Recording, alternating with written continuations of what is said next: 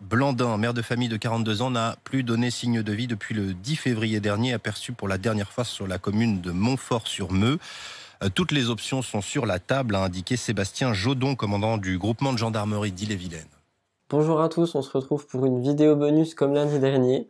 On va pas faire ça toutes les semaines, hein, je préviens tout de suite, mais euh, on a vu qu'il y a une disparition qui s'est passée euh, bah, il y a à peu près 10 jours. Donc on a décidé d'en parler le temps que c'était frais, histoire de pouvoir, encore une fois, relancer cette enquête. Cette disparition est très inquiétante et s'est passée en Bretagne, vers Rennes. À l'heure d'aujourd'hui, on sait que ça se dit pas, mais je ne savais pas quoi dire. Euh, les recherches sont toujours en cours et très actives, et on espère encore une fois que cette vidéo va pouvoir aider. Vous en faites pas, le planning habituel va être tenu. Il y aura toujours une, vidéo mercredi, une vidéo samedi et rebelote les semaines d'après. Donc euh, si vous êtes nouveau, si ça vous plaît, etc., n'oubliez pas de vous abonner juste en dessous. Et si vous voulez aider à l'enquête, n'oubliez pas de partager la vidéo un peu partout, histoire qu'on essaie de retrouver cette dame. Et au passage, merci pour les retours sur notre dernière vidéo qui était celle de Ted Bundy, parce qu'on avait un peu peur en la lançant, étant donné que c'est une vidéo qui est énormément vue et connue mais euh, sur 90% des commentaires, la chose qui est revenue, c'est qu'on a mis des détails qui n'étaient pas là dans d'autres vidéos. Donc merci de le souligner et de montrer euh, aux autres gens qui ne connaissent pas forcément qu'on fait des recherches de dingue concernant des vidéos même qui sont déjà très connues.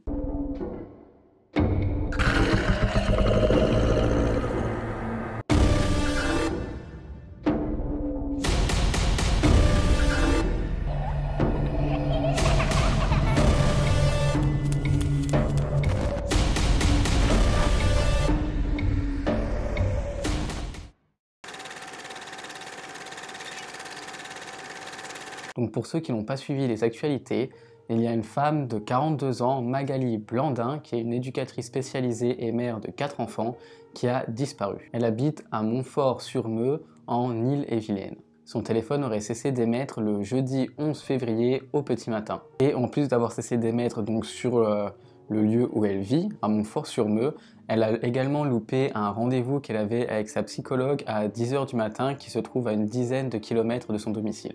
Sa disparition a été signalée le vendredi 12 février, donc le lendemain, par une collègue de travail. Et ce qui a aussi alerté donc, euh, les personnes aux alentours, c'est qu'elle n'a pas été chercher ses enfants à l'école, car ce week-end-là, elle devait avoir leur garde, mais elle ne s'est jamais rendue à la sortie scolaire. Magali vivait seule à Montfort-sur-Meux, elle venait de se séparer de son ex-compagnon du coup qui est le père des quatre enfants qui l'a gardé et lui vivait au domicile familial le premier à Montauban de Bretagne. Il faut savoir qu'après sa séparation, elle avait déposé plainte en septembre 2020 euh, à la police de Rennes pour violence conjugale avec ce fameux Tom. Mais très honnête comme elle est, en déposant sa plainte, elle a même dit qu'elle-même a pu se montrer violente lors de ces violences conjugales. Son ex a donc été placé en garde à vue avant que l'affaire soit classée sans suite le 4 septembre 2020. Il y a toujours eu des tensions entre Magali et son ex-époux, notamment euh, concernant la garde des enfants, mais aussi euh, concernant les factures et tout ça. Donc ils s'entendaient pas vraiment sur euh, ben, la vie en fait, c'est-à-dire tout ce qui était question de financement et ben, pour leurs enfants, donc c'est peut-être pour ça qu'ils se sont séparés. Alors d'abord, c'est une mère de famille qui a quatre enfants, qui connaissait naturellement quelques soucis personnels et notamment, euh, elle était en instance de séparation. Depuis la séparation, il y avait encore des tensions entre eux, notamment sur des questions de, choses financières et sur la garde des enfants. Selon France Bleu, les enquêteurs, ils ont trouvé un mail une semaine avant la disparition de Magali qu'elle voulait envoyer à son ex qui concernait l'organisation des gardes des enfants. Et la veille de sa disparition, Magali aurait eu une conversation téléphonique avec ses deux aînés, donc les deux plus grands enfants pour ceux qui n'arrivent pas à suivre, et apparemment c'était très très très tendu. On va se concentrer cet après-midi. De façon concomitante, l'enquête judiciaire continue. Il y a également des plongeurs qui sont engagés déjà depuis deux jours pour reconnaître la meute. Voilà la situation aujourd'hui. Mais je vous le répète, aucune piste n'est écartée. Un des communiqués du procureur indiquera des éléments de téléphonie confirmés par l'action des chiens pisteurs ont permis, de, retracer son cheminement jusqu'au nord de la commune, où sa trace s'est perdue en fin de matinée dans une zone de bocage située non loin du cours d'eau Le Garin. Ce cours d'eau se situait d'ailleurs près de l'appartement de, Magali. Il faut savoir que certains, vu que Magali était quelqu'un qui faisait beaucoup de randonnées, ont pu dire que peut-être elle, serait juste partie faire une randonnée et vu que les routes étaient encore assez enneigées, il serait possible qu'elle aurait eu donc une mauvaise chute et qu'il se serait passé donc un malheur à ce moment-là. Mais pour le moment, rien n'a été retrouvé et on explore vraiment toutes les pistes. Un appel à témoins a donc été lancé ainsi qu'une battue avec plus de 300 personnes ont été, a été organisée par les gendarmes le mardi 16 février.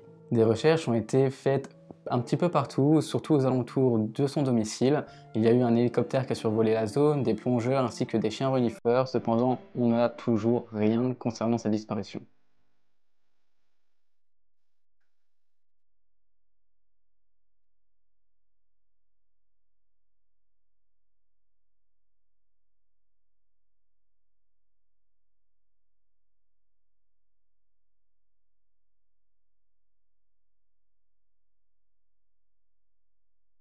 Lundi 22 février, donc aujourd'hui, 11 jours après sa disparition, une information judiciaire a été ouverte pour recherche des causes de sa disparition. Aucune piste n'est écartée et une vingtaine d'enquêteurs sont en charge de cette affaire.